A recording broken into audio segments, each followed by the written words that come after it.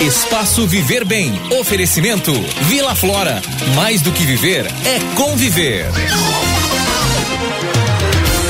É isso mesmo, no oferecimento do Vila Flora que está realizando nesta sexta, sábado e domingo lá o Festival de Imóveis no Shopping Iguatemi com apartamentos de dois e três dormitórios. Para você que esperava viver no Vila Flora, chegou a sua chance. A gente vai falar sobre o Outubro Rosa nesse espaço, Luizinho Rodrigues. Nós vamos conversar ao vivo por telefone com a doutora Daniela Flores, ela que, que vai conversar com a gente a respeito das pacientes que tiveram o câncer e agora tem que conviver com isso e melhorar e voltar a ter o mesmo padrão de vida. É isso, né, doutora? Boa noite, seja bem-vinda à Rádio Ipanema. Boa noite, Tiago, obrigada. É isso mesmo. É, em geral, a campanha do Outubro Rosa é uma campanha para conscientização da população, em especial das mulheres, né, para a importância da detecção precoce do câncer de mama, que aumenta a chance de cura. Sim. E no nosso caso, a nossa atuação já é num aspecto mais tardio daquelas pacientes que já foram tratadas e por algum motivo tiveram complicação, ou Entendi. seja, na cirurgia ou na própria, é, por consequência da radiação, né? Que a radioterapia também é um tratamento bastante usado no câncer de mama.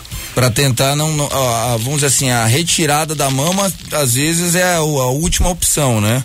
Na realidade, é, não é bem isso. O Tá. tratamento do câncer de mama, ele passa basicamente por três, é, em geral, por três tipos de tratamento, que é ou só cirúrgico, cirúrgico com quimioterapia e radioterapia, alguma combinação dessas três.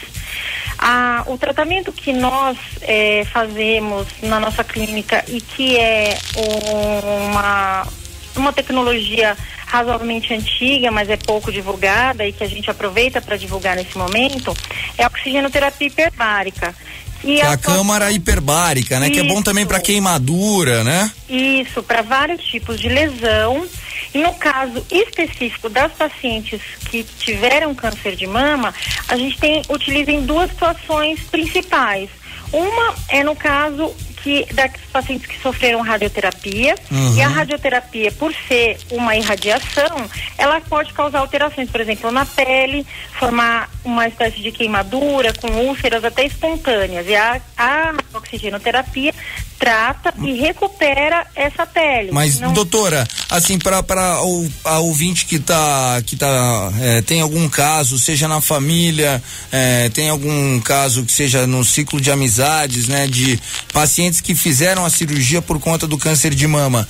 Você acha que é uma boa tocar nesse assunto porque as pessoas às vezes passam por dificuldades e não, e não abrem isso para as outras, né? Isso é importante, porque algumas pacientes às vezes não têm, é, ficam com receio de fazer uma cirurgia, por exemplo, justamente em áreas que já foram mexidas, né? Por exemplo, para fazer uma reconstrução.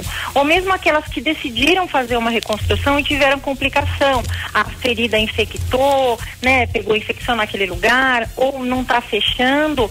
E aí a- aquela esperança que ela tinha de ter uma melhor é, estética acaba que não acontece da forma ideal. E a oxigenoterapia, ela entra nesse momento, naquela ferida que está aberta, que não está cicatrizando, acelera a cicatrização e melhora o aspecto, devolvendo qualidade de vida para essa paciente, que já é normalmente uma paciente bastante sofrida, né? Que vem de normalmente de vários procedimentos e na hora que está fazendo aquele último procedimento, que é o estético, que é para recuperar a sua autoestima, Ah. tem uma complicação e a gente atua resolvendo, resolvendo esse problema.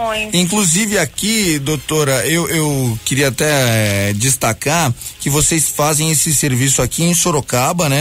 Isso. É, ali na, é na Rua Martinique, é isso? Na doutor? rua Martinica, no número 265. 265. O telefone para quem quiser saber mais informações é o 3418 4560. 3418 4560. Doutora Daniela Daniela Flores conversando com a gente pra gente encerrar e agradecendo a sua participação, doutora. Qual é a mensagem para essa mulherada, seja com a mamografia anual, mas desde cedo, desde jovem, aprender a se tocar? Eu queria que você deixasse essa reflexão, por favor, no nosso quadro Viver Bem, tá bom?